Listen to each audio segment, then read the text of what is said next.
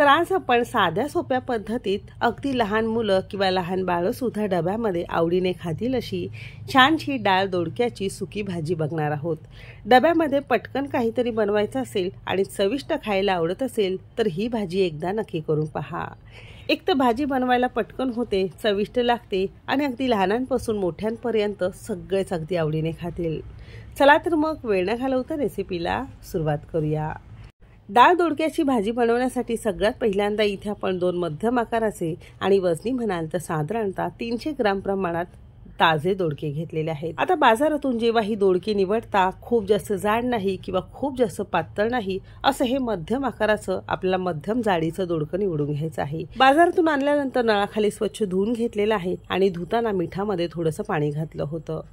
फक्त बटाट्याच्या सालनीने वरच्या ज्या शिरा असतात फक्त एक सर फिरवायची आणि दोडक्याच्या वरील फक्त जाड शिर आपल्याला एका सरीत काढून टाकायचंय. अगदीच याला घासायचं किंवा खूप जास्त साल काढायचं नाही. दोन्हीकडच्या साईड्स आपण अशा काढून घेतलेल्या आहे. आता या सालीची सुद्धा मस्त चटणी तयार होते. पुढे कधीतरी नक्की शेअर करेन. आता आपण हे बाजूला ठेवून देणार आहोत. दोडक्याच्या वरची सर काढून झाल्यानंतर आवडीप्रमाणे आपण याला चिरून घेणार आहोत. चिरताना एका दोडक्याचे असे चार भाग करून घेणार आहोत आणि खूप जास्त लहान तुकडे न करता थोड्याशा मोठ्या मोठ्या तुकड्यांमध्ये आपण हे चिरून घेतलेलं आहे. तर इथे तुम्ही बघू शकता. तीनशे ग्राम दोडक्यांसाठी इथे आपण साधारणतः शंभर ग्राम डाळ गरम पाण्यामध्ये दहा मिनटं भिजत ठेवलेली होती. चना डाळ घेतलेली आहे तुम्ही मुगाची डाळ जरी वापरली तरीही चालू शकेल. म्हणजे तीनशे ग्राम दोडक्यांसाठी इथे आपण शंभर ग्राम चना डाळ असं परफेक्ट असं याचं प्रमाण घेतलेलं आहे. भाजी छान गावरान आणि चवदार होण्यासाठी इथे आपण एक छानसा खलबत्त्यामध्ये ठेचा बनवून घेणार आहोत. त्यासाठी पाच सहा हिरव्या मिरच्या पाच सहा लसणाच्या पाकळ्या अर्धा चमचा जिरं घेतलेला आहे आणि जाडसर आपण खलबत्त्यामध्येही कुटून घेतलेलं आहे. तुम्ही इथे बघू शकता अगदीच बारीक पेस्ट न करता असं हे जाडसर आपण ठेचा करून घेतलेला आहे. दुसरीकडे गॅसवर एक कढई गरम करून घेतलेली आहे. कढई छान गरम झाल्यानंतर एक पळीभर यामध्ये तेल चांगलं कडकडीत आपल्याला गरम करून घ्यायचं आहे. तेल छान कडकडीत गरम झाल्यानंतर इथे आपण अर्धा चमचा मोहरी यामध्ये छान फुलवून घेतल्यानंतर तयार ठेचा घालणार आहोत. ठेचा घातल्यानंतर गॅस अगदी मध्यम करायचा आहे आणि मध्यम आचेवर एक मिनिटभरासाठी लालसर किंवा हलकासा रंग बदलेपर्यंत आपल्याला हे छान परतून घ्यायचं आहे. असं छान परतल्यानंतर एक मध्यम आकाराचा कांदा अगदी बारीक तुकड्यांमध्ये चिरून घेतलेला आहे. कांदासुद्धा थोडासा ट्रान्सपरंट किंवा थोडासा क्रिस्पी होईपर्यंत आपण हा चांगला परतून घेतलेला आहे. असा हा हलकासा याचा रंग बदलल्यानंतर इथे आपण थोडीशी बारीक चिरलेली कोथिंबीर घालणार आहोत. कोथिंबीर नुसतीच वरून भुरभुरण्यापेक्षा अशी ही थोडीशी फोडणीमध्ये घातली की भाजीला अगदी छान चव लागते. कधी करत नसाल ते एकदा नक्की करून पहा. इथे आपण दोन मध्यम आकाराचे टोमॅटो अगदी बारीक तुकड्यांमध्ये चिरून घेतलेला आहे. मोठा असेल तर फक्त एकच घालू शकता. टोमॅटोसुद्धा हलकासा नरम किंवा हलकासा रंगी बदलेपर्यंत आपण हा छान परतून घेतलेला आहे. इथे आपण काही सुके मसाले घालणार आहोत. अगदी चिमूटभर हिंग घातलेला आहे. अगदी पाव चमचा हळद घेतलेली आहे. अर्धा चमचा किंवा आवडीनुसार तिखट घालायचं आहे. त्याचबरोबर अगदी पाव चमचा आपण इथे गरम मसाला घातलेला आहे. तुम्ही गोडा मसाला जरी वापरला तरीही चालू शकेल. म्हणजे अगदीच रोजच्या वापरातले बेसिक मसाले आपण यामध्ये वापरलेले आहे. या भाजीला खूप जास्त मसाले किंवा खूप जास्त फ्लेवर्स वापरायचे नाही. त्याने भाजीची चव कमी होते.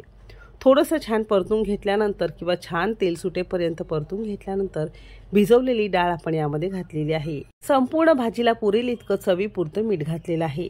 आता माझं काय झालं? भाजी बनवण्यासाठी डाळ भिजवायची राहून गेली तर दहा मिनिटासाठी मी गरम पाण्यामध्ये डाळ भिजत ठेवलेली होती तर व्यवस्थित डाळ ती भिजून तयार झालेली आहे कारण गरम पाण्यामध्ये डाळ व्यवस्थित पटकन भिजली जाते.